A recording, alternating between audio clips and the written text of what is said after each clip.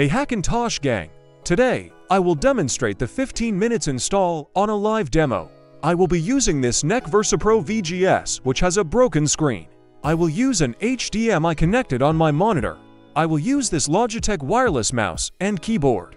I gathered all the necessary files into this 128 gigabytes USB flash drive using the new 15 minutes. Install guide, link on the description box. I will plug them all together on this laptop and getting all things ready. Turning on the laptop and let's go to the BIOS settings of this unit by pressing the F2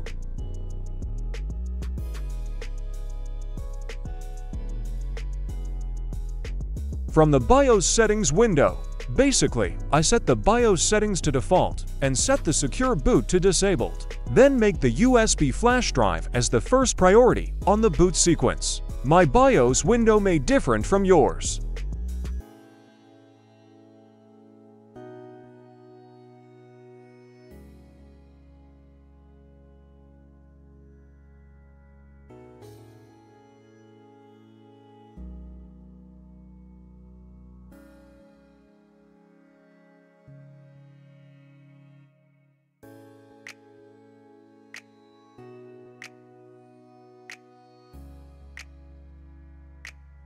Exit and save the settings on the BIOS. We will now boot into the USB flash drive with Ventoy.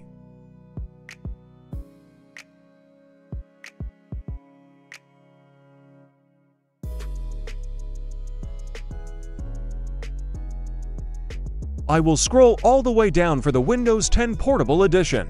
I have too many files stored on this USB flash drive. This video will have no cuts, just the raw procedure on how to install the new 15 minutes install guide.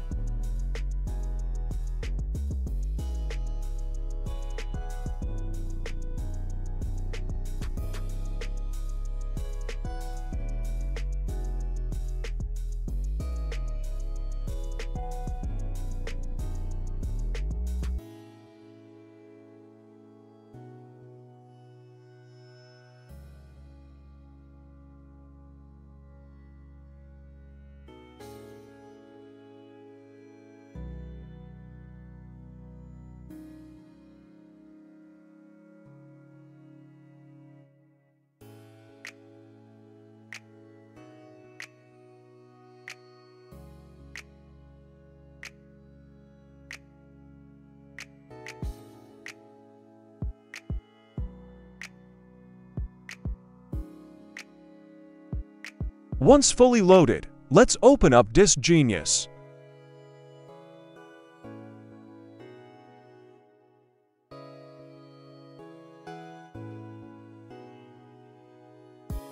Your SSD should be GPT partition table as pointed by this orange arrow. If it's MBR, you will need to convert it into GPT. Just right-click the disk, then convert.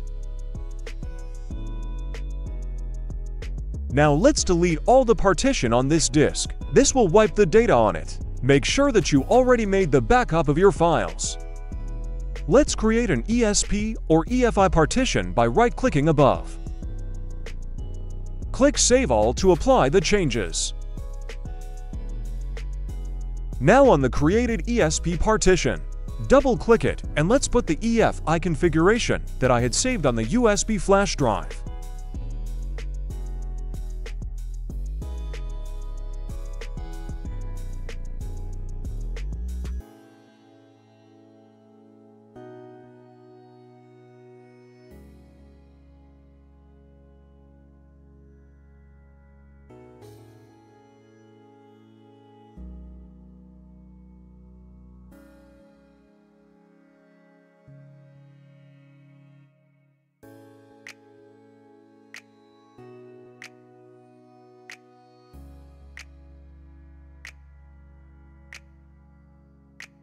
Drag the EFI folder into that Disk Genius window. Make sure that the folder structure of your EFI folder is like this. Rename that folder into EFI then close Disk Genius.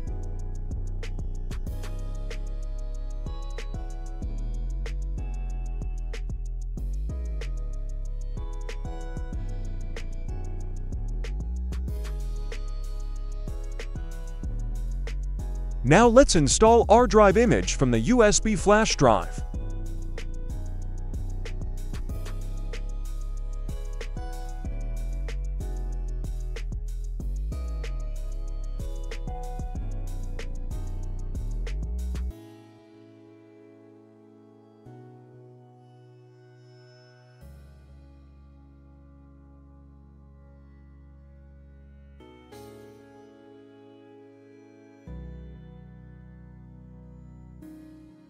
Launch the R-Drive image program and let's restore the latest Sonoma 14.4.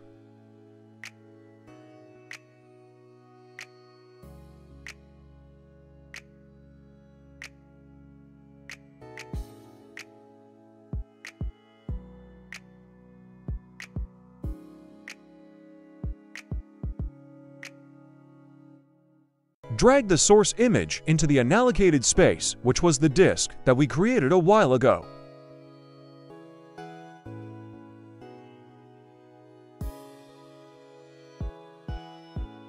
Click Start, and this will initiate to restore the Mac OS Sonoma into the disk you had chosen. The time of restoration will vary on which disk that you have. If you have a hard disk, it will be longer, while with NVMe or SSD, it will be blazing fast. And if you're still here and haven't subscribed to my channel, feel free to do so. For the meantime, enjoy the music.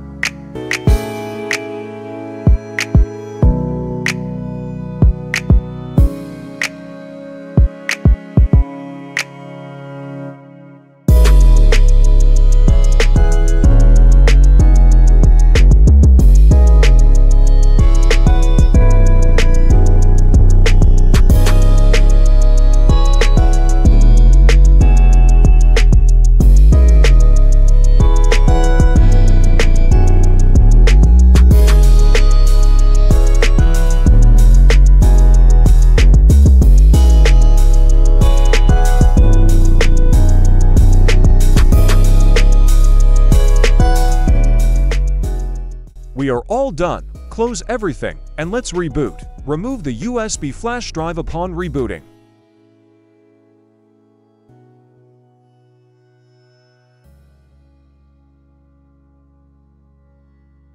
Now if you encountered error, find another EFI for your machine and try again.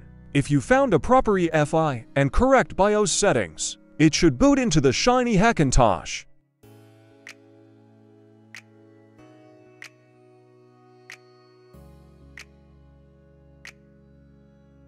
Well, that's about it for this video. The succeeding footage will be just the out-of-the-box experience of macOS Sonoma. This installation from start to the desktop took approximately around 13 minutes. Thanks for watching, and see you on the next one.